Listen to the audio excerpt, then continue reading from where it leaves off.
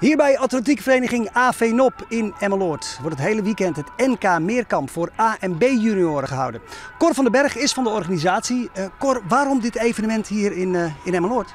Nou, AVNOP heeft natuurlijk al een hele rijke traditie met het organiseren van Nederlandse kampioenschappen. Uh, tevens hebben we heel veel talentvolle uh, atleten hier bij AVNOP. Die willen dus eigenlijk graag een podium bieden om op de eigen baan in deze omstandigheden een fantastisch evenement te beleven met ons. Maar het is wel een peut werk hè, voor jullie, want ja, veel vrijwilligers in actie. Het is druk.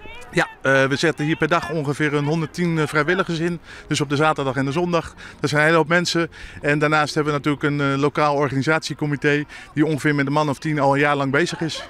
Is dat moeilijk om bij elkaar te krijgen? Wil iedereen graag meehelpen? Nou, wij hebben dit jaar als vereniging uh, ons vrijwilligersbeleid uh, verder uitgerold. En daar hebben we een heleboel positieve reacties mee uh, weten te ontvangen. Waardoor we best wel genoeg vrijwilligers hebben kunnen krijgen. Ik zit bij AVNOP en, en er werd gevraagd om vrijwillige bijdrage te doen. En toen dacht ik van nou ja, de NK is altijd wel leuk natuurlijk om, om daarbij ja, te, vrijwillig te zijn.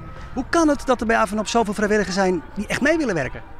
Um, het is een hele hechte club. Iedereen uh, zegt ook altijd tegen elkaar, zeg maar, van uh, nou ja, dat moet je eigenlijk uh, gewoon een keertje doen. En um, ja, daarom denk ik dat ze dat dat echt helpt, zeg maar, met uh, dat iedereen echt hecht met elkaar is en uh, dat iedereen, iedereen elkaar aanspoort daarmee.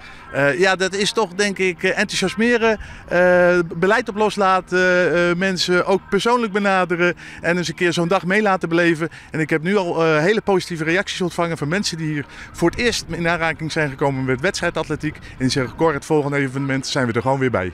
En wanneer is het volgende evenement? Nou, het volgende grote evenement is volgend jaar. datum is nog niet bekend. Maar dat zal worden het NK Junior AB.